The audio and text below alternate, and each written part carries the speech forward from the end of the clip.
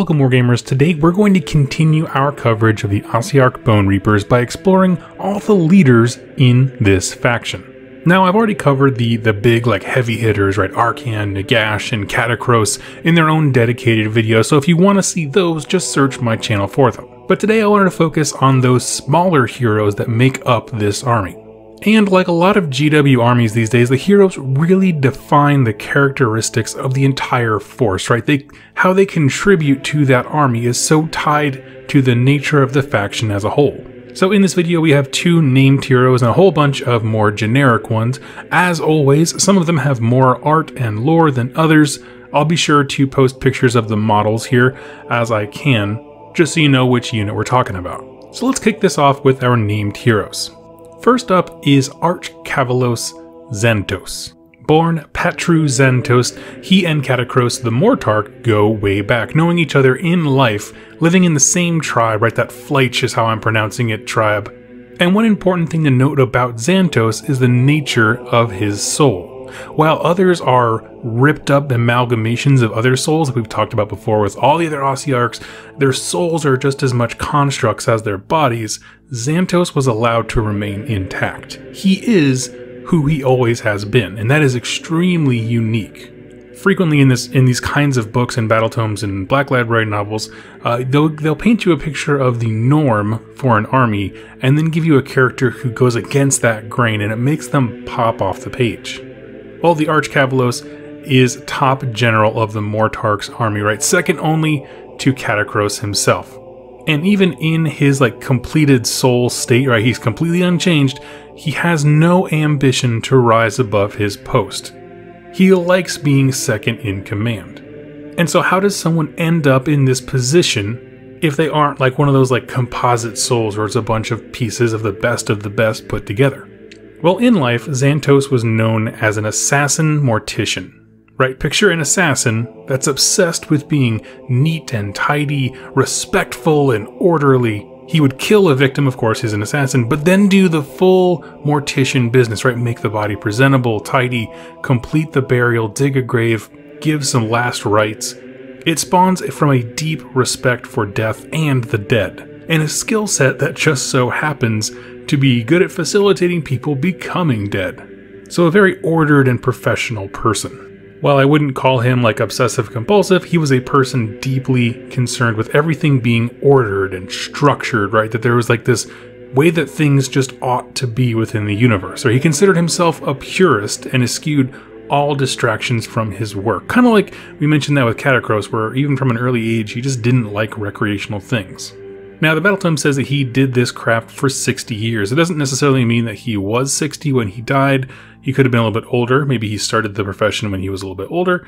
But that means, eh, at bare minimum, he still had a pretty long life, right? Unlike Katakros, he didn't have the same epic death story. It might have just been a peaceful, relatively old ending to a man. And when he did die, he arrived in his people's afterlife of Ossia, and remember from our first video, uh, or sorry, the Katakros video, this is the the Flitchian afterlife that is based around satisfying labor, and he found this to be his liking. There were things to do. The countryside was neat and orderly. There was peace, and there was just calm in his heart. This was like the perfect afterlife for him. However, that all changed once Sigmar came. Now, I assume this is, of course, in the age of myth, as the pantheon was being like seeded and grown, life was being spread amongst the realms.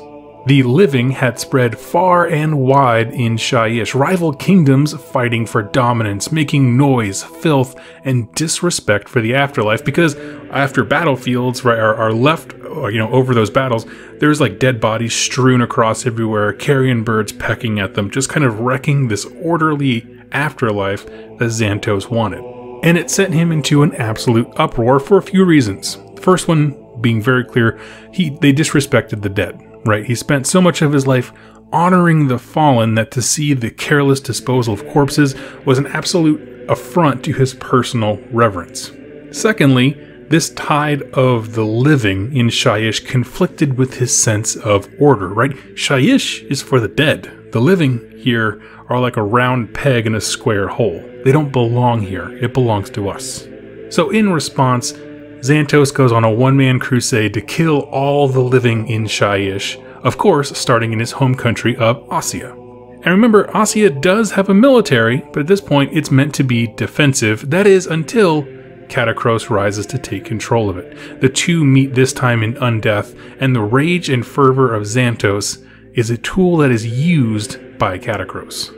And this kind of innate desire for peace and order, right? Peace meaning everyone's dead so there's no one bothering you or making a mess, made Zandtos a fine leader. He was efficient, he was brutal, and he was unyielding and this was only magnified when Katakros gifted him a weapon called the Dark Lance. Sort of think of it as like a, a magic blade, right? It's an arcane weapon that magnifies the wielder's intentions. So when you're wielding it, whatever you're singularly focused on, you kind of fall into madness about that singular thing. And when he gave it to Zandtos, his hands magnified the desire to purge the living and push back Sigmar's influence and reclaim Shyish for the dead. So that's his number two guy, the guy who just wants to exterminate all the living from Shyish. And remember that Zandtos represents kind of like the military arm of the Ossiarch Bone Reapers. The other units we'll talk about later on represent more of like the supporting role. So you want your military guy to be solely focused on his one job, not being distracted by anything else. Next up is Vokmortian, Master of the Bone Tithe. This is an interesting one for sure. He's the he's the leader who came in the Feast of Bone set that I'm sure one day will be released by himself in a clan pack or something. And even though he's in the same legion as Zandtos and Katakros, neither of them are given even the briefest of mention in his entry. And that's because Vokmortian is first and foremost a servant of Nagash, right? Being his foremost emissary. Nagash can actually see through Vokmortian's eyes and make his presence known by kind of reaching out through his chest. And that's why, if you see that picture where uh, Vokmortian has like a kind of greenish, huey ghoul coming out of his chest, that's actually the appearance of Nagash peeking through. It's a very unique and peculiar role, right? He's he's the statesman, emissary, but also a conqueror. It's him and his underlings that go far and wide decreeing the Bone Tithe, gathering resources for the Bone Reaper's dark harvest. And as his role of emissary would make sense, he bears the authority of Nagash. So if he comes across another undead army, like let's say, for example, uh, in some bits of the Legions of Nagash book, there were like little death rattle kingdoms. If they come upon a death rattle kingdom, he immediately has the authority to take command and control it. And so his entry is kind of an odd one, right? It's it's almost written like he's a Mortarch, right? It's that level of importance, but he isn't really. He's more like a diplomat, a representative with a lot of authority and power. But he's not given the role of leading anything in particular. Like, you know, Mortarchs all have their own kind of like divisions, I guess you could say, of Nagash's army. He doesn't really do that, but he does embody the authority of Nagash in the realms. And it puts him in a really interesting place, as he is, in theory, below Katakros, or at least you know, kind of equal to Zandtos, right? Their, their Katakros is the leader of this entire faction, right? Only second to Nagash. And Vokmortian kind of floats in terms of authority in this weird space outside of that. For everything being so highly structured and ordered, he seems to have a unique position. And I think this is chalked up to the fact that they are just very different roles, like they're different heads of the same snake. Katakros is the militant mind, whereas Vokmortian represents Nagash's long term interests. If we want to do this long term and make this work, we have to collect enough raw material to make the biggest army possible, and that's why he's responsible for the Bone Tithe. Now, that's it for the named characters, and we're going to jump into kind of the various roles of the unnamed one. As always, some have more lore than others, but each of them has an incredibly unique role within the army. Starting off with the Liege Kavaloi. Think of this as the like generic version of Zandtos, right? He's a hero on a Kavalos uh, steed, which is the mount.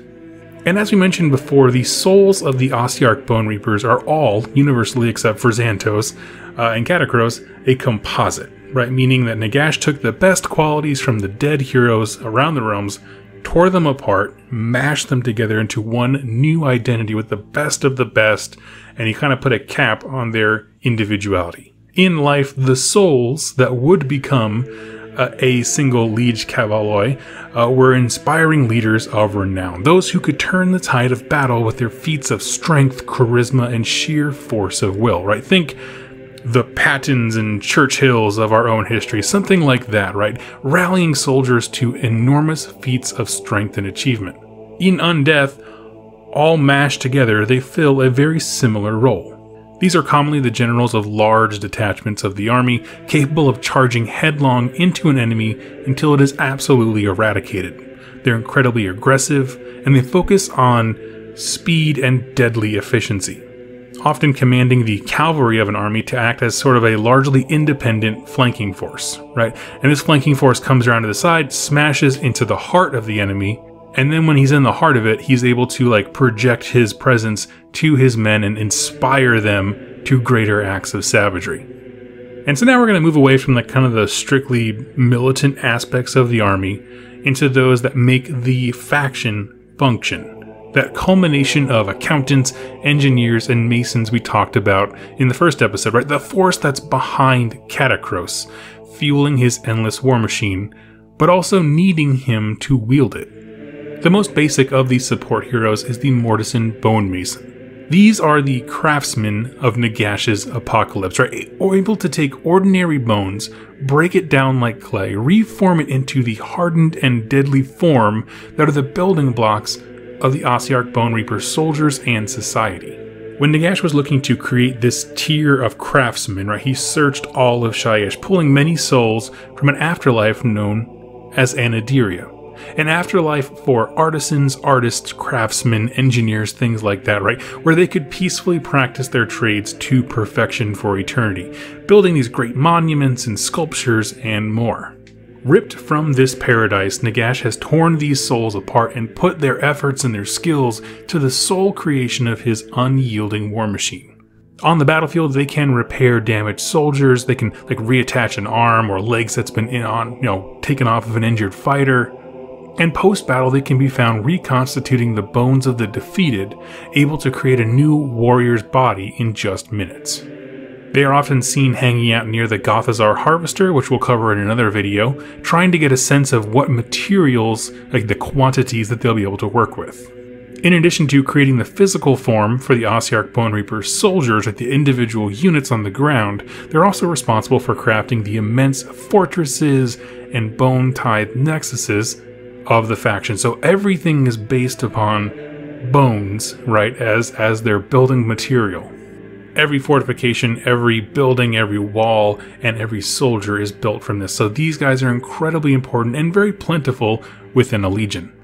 Which is weird. It kind of puts them in a strange place where they kind of fill this role of medic because they're like fixing everybody, right? They're a medic, they're an engineer, and they're an artisan all in one. And I love that combination that because everything's based off the same material, when you are the person who can craft that material with ease, you suddenly fill a bunch of different roles. Now, right below them are the Mortisan Soul Reapers. A lot of these sound the same, so just kind of be careful when you're looking up the entries here, but the Soul Reapers are very interesting. See, where, where the Bone Shapers are designed to create and build, like we just talked about, the Soul Reapers are designed to destroy. Formed from the composite souls of like necromancers or people who tried to wield death magics, they are often considered the least among the Mortisans. The Mortisans kind of being like that whole class that is about like supporting the army and that kind of thing. And even though they have power, it's not the power to create, like the rest of their order has. Their design is simple it's just to kill. In the death of the enemy, by melee or by destructive magics, their job is to release the souls, right, the raw animus energy of life, and capture it for later use. This being an, an essential ingredient to the Ossiarch Bone Reaper process. It's not just bones, they're built upon bones, obviously, but everything has to be animated. All those souls that they take to, that are torn apart and put into a soldier, they come from somewhere. And on the battlefield, these are the soldiers who bring them to our next entry, which we'll talk about here in a second. But they go into battle as if they were these like grim farmers reaping the crop to fuel the war machine, right? Creating dead bodies, which of course means more bones, and freed souls and the raw animus energy that there's used for making new spirits to inhabit those bodies.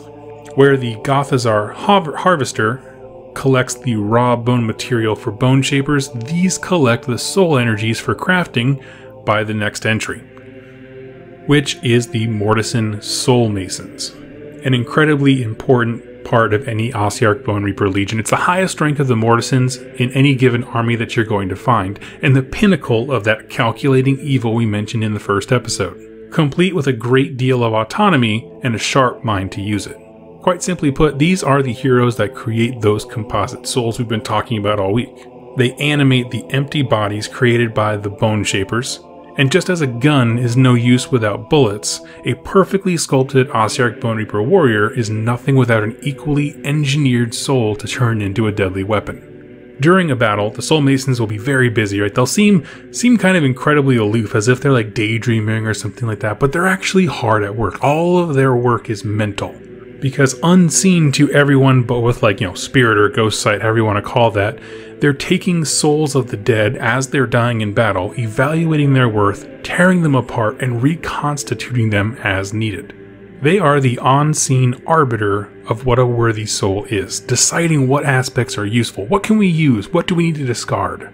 Taking the best that the realms have to offer and morphing these bits into a set of single consciousnesses, infusing it into soul gems kind of thing that adorn every Ossiarch Bone Reaper soldier. They're more than just like a necromancer that traps a soul and reanimates something. They really are creators, right? Progenitors of entire armies, right? Entire beings that have their own thoughts and abilities and stuff like that. It's, it's a huge task. And to allow them to focus entirely on their work, they frequently create these mounts that autonomously steer them into battle. These are the, like the bipedal constructs they ride into war. Not everyone digs the model. I totally understand that. But, you know, in, from a lore perspective, if you didn't know what it looked like, I think it sounds super cool. And having that the autonomous, you know, vehicle carry them around allows them to dedicate the entirety of their mind to the judgment of souls. Right? How many soldiers can be yielded from this battle? How many are we going to lose? What are the roles we need to fill for the next campaign, and so on.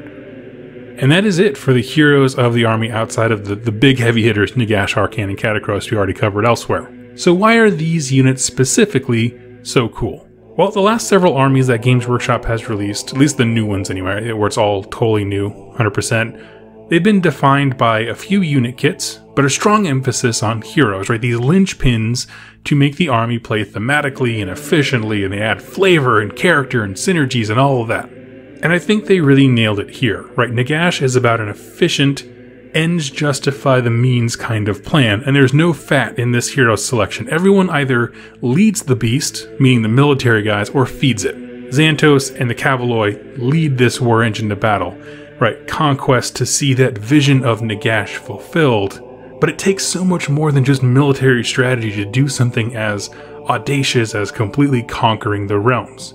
And that's where the Mortisans come in. Their ability to create soldiers, repair them, custom craft souls for them to meet the exact needs of the moment, all on the fly, is incredible. And it keeps the snowball growing instead of the army kind of burning out as the dead are depleted.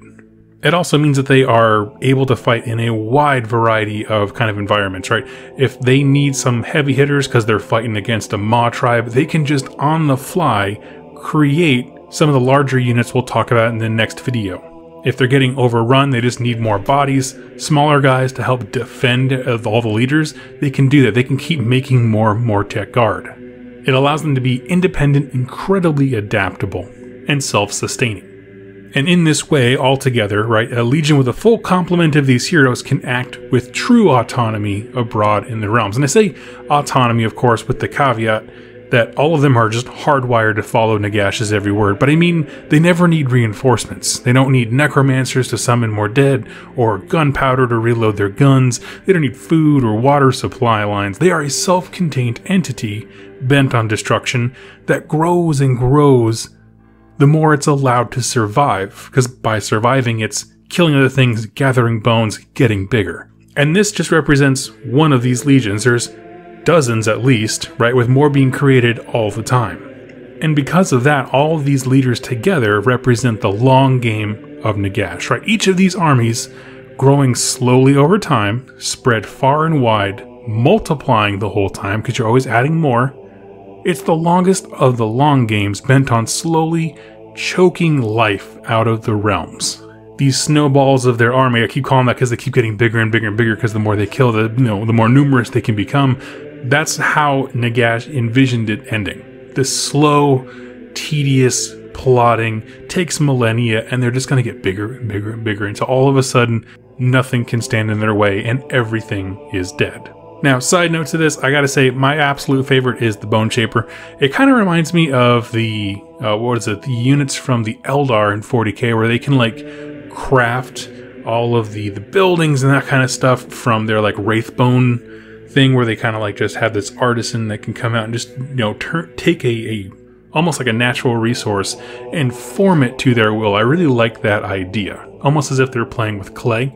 Uh, the idea of them just hanging out next to the Gothizzar harvester to like check out how many bones they got and like what are we working with today? I don't know. Kind of gives it like a um, Iron Chef kind of feel when you don't know what ingredients you're gonna have. You just kind of make it up as you go and make it work moment type deal. I love it. So I think he's a really cool unit. Plus that model is absolutely sick. Tell me which one is your favorite hero and what do you think about the Soul Mason. I personally like it. I like the bipedal thing, uh, his position when he's sitting, and it's like walking him around. I love the lore behind him. He's actually my favorite lore wise, being like the head of the Mortisans. But I know not everyone was super hot on that model, but I want to hear your thoughts. Tell me in the comments below, and I'll see you in my next Age of Sigmar lore video. Thank you so much for watching, and happy wargaming.